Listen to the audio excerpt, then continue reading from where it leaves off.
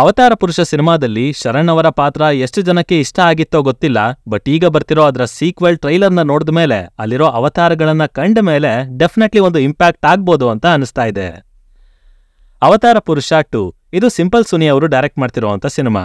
ಅನ್ಕೊಂಡ್ ಹಾಗೆ ಎಲ್ಲದೂ ಚೆನ್ನಾಗಾಗಿದ್ರೆ ಸಿನಿಮಾ ಎರಡ್ ಸಾವಿರದ ಇಪ್ಪತ್ತೆರಡರಲ್ಲೇ ರಿಲೀಸ್ ಆಗ್ಬೇಕಿತ್ತು. ಬಟ್ ಅನ್ಫಾರ್ಚುನೇಟ್ಲಿ ಇದರ ಪಾರ್ಟ್ ಒನ್ ಅಷ್ಟು ಸಕ್ಸಸ್ಫುಲ್ ಆಗದೆ ಇದ್ದಿದ್ರಿಂದ ಪುಷ್ಕರ್ ಅವ್ರಿಗೆ ಒಂದಷ್ಟು ಲಾಸ್ ಆಯ್ತು. ಅಂಡ್ ಅಲ್ಲಿಂದ ಅನಿರ್ದಿಷ್ಟಾವಧಿಗೆ ಸಿನಿಮಾ ಮುಂದೂಡ್ತಾನೆ ಹೋಯ್ತು. ಬಟ್ ಫೈನಲಿ ಅಂತೂ ಪುಷ್ಕರ್ ಅವರು ಚೇತರಿಸ್ಕೊಂಡಿದ್ದಾರೆ. ಹಾಗೇನೆ ಸಣ್ಣದಾಗಿ ತಯಾರಿ ಮಾಡ್ಕೊಂಡು ಸಿನಿಮಾನ ಇದೇ ಏಪ್ರಿಲ್ ಐದಕ್ಕೆ ರಿಲೀಸ್ ಮಾಡೋದಕ್ಕೆ ರೆಡಿ ಆಗಿದ್ದಾರೆ. ಇನ್ನು ನಿನ್ನೆ ಸಿನಿಮಾದ ಟ್ರೈಲರ್ ಕೂಡ ರಿಲೀಸ್ ಆಗಿದೆ, ಸೊ ಮಾತಾಡೋಣ ಅದ್ರ ಬಗ್ಗೆ ಡೀಟೇಲ್ಡ್ ಆಗಿ. ಬಟ್ ಅದಕ್ಕಿಂತ ಮುಂಚೆ ಚಾನಲ್ಗೆ ಹೊಸಬ್ರಾಗಿದ್ರೆ ಸಬ್ಸ್ಕ್ರೈಬ್ ಮಾಡ್ಕೊಳ್ಳಿ. ಅಂಡ್ ವಿಡಿಯೋ ಇಷ್ಟ ಆಯ್ತು ಅಂದ್ರೆ ಗೊತ್ತಲ್ವಾ? ಲೈಕ್ ಕೊಟ್ಟೆ ಕಂಟಿನ್ಯೂ ಮಾಡಿ. ನಿಮ್ಮ ಸಪೋರ್ಟ್ ಖಂಡಿತ ಬೇಕು.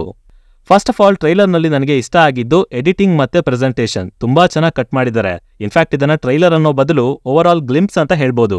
ಬಿಕಾಸ್ ಇದ್ದಂತ ಡೈಲಾಗ್ಸ್ ಕಡಿಮೆ ಅಂಡ್ ವಾಯ್ಸ್ ಓವರ್ ಅಲ್ಲಿ ಬಂದಿರೋ ಸ್ಟೇಟ್ಮೆಂಟ್ಗಳು ಕಥೆಯ ಮುಖ್ಯ ಘಟ್ಟಗಳನ್ನ ಹೈಲೈಟ್ ಮಾಡ್ತಾ ಇದ್ವು. ಸ್ಪೆಷಲಿ ಈ ಸಲ ವಾಮಾಚಾರ ಅನ್ನೋದನ್ನೇ ಇನ್ ಡೆಪ್ತ್ ತೋರ್ಸೋದಕ್ಕೆ ಹೊರಟಿದ್ದಾರೆ ಸುನಿ ಅವರು. ಆಲ್ಸೋ ಅದಕ್ಕೆ ಪೂರಕವಾಗಿ ಬಳಸಿರೋ ಎಲಿಮೆಂಟ್ಗಳು ಈ ಕಡೆ ನಿಂಬೆ ಹಣ್ಣಿಂದ ಹಿಡಿದು ಎಳ್ನೀರ್ವರೆಗೂ ಏನೇನ್ ವಿದ್ಯೆ ಇದೆಯೋ ಅವೆಲ್ಲದರ ಪರಿಚಯ ಸಿನಿಮಾದಲ್ಲಿ ಆಗ್ಬೋದು ಅಂತ ಅನ್ಕೋತೀನಿ.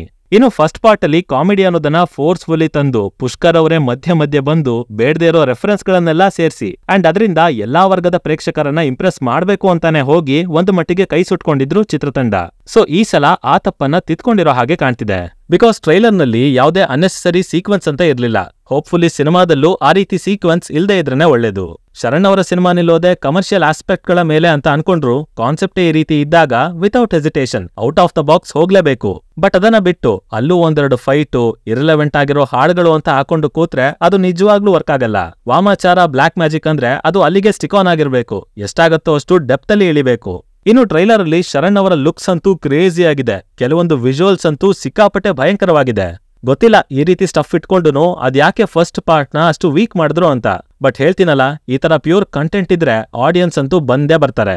ನೆಕ್ಸ್ಟ್ ಇಲ್ಲಿ ಟೆಕ್ನಿಕಲ್ ಆಗಿ ಒಳ್ಳೆ ಔಟ್ಪುಟ್ ಬಂದಿದೆ. ಲೈಕ್ ವಿಲಿಯಂ ಡೇವಿಡ್ ಅವರ ಸಿನಿಮಾಟೋಗ್ರಫಿ ರಾತ್ರಿ ಹೊತ್ತಲ್ಲಿ ಅವರು ಕವರ್ ಮಾಡಿರೋ ವಿಜುವಲ್ಸ್ ಸಖತ್ತಾಗಿದೆ.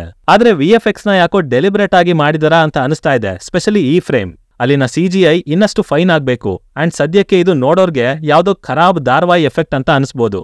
ಸೊ ಲೆಟ್ ಸಿ ಫಿಲ್ಮ್ ಅಲ್ಲಿ ಅದನ್ನ ಹೇಗ್ ತಂದಿರ್ತಾರೆ ಅಂತ.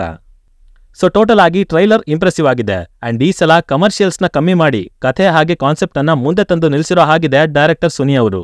ಜೊತೆಗೆ ಆ ತ್ರಿಶಂಕು, ಮಣಿ, ಧಾರಕ ಈ ಕಡೆ ಮನೆ ಬಿಟ್ಟು ಹೋಗಿರೋ ಕರ್ಣ ಕಾರ್ಯಸಾಧನೆಗೆ ಕಾಯ್ತಿರೋ ಹಿನ್ನುಡಿ ಆಶ್ಚರ್ಯ ಮೂಡಿಸೋ ಶ್ರೀನಗರ ಕಿಟ್ಟಿ ಅವರ ಪಾತ್ರ ಎಲ್ಲದೂ ಇಂಟ್ರೆಸ್ಟಿಂಗ್ ಆಗಿದೆ. ಅಂಡ್ ಎಲ್ಲದರ ಬಗ್ಗೆನೂ ಚೆನ್ನಾಗಿ ಹೈಲೈಟ್ ಮಾಡಿದ್ದಾರೆ ಇಷ್ಟ ಆಯ್ತು ನನಗೆ. ಜಸ್ಟ್ ಅಲ್ಲಿ ಒಳ್ಳೆ ಇಂಪ್ಯಾಕ್ಟ್ ಬರಬೇಕು. ಅಂಡ್ ಆ ಇಂಪ್ಯಾಕ್ಟ್ ಬರೋದಕ್ಕೆ ಹೇಳದ್ನಲ್ಲ ಕಮರ್ಷಿಯಲ್ಸ್ ಮತ್ತೆ ಅನ್ನೆಸೆಸರಿ ಕಾಮಿಡಿನ ತಂದು ತುರುಕೋದು ಬೇಡ.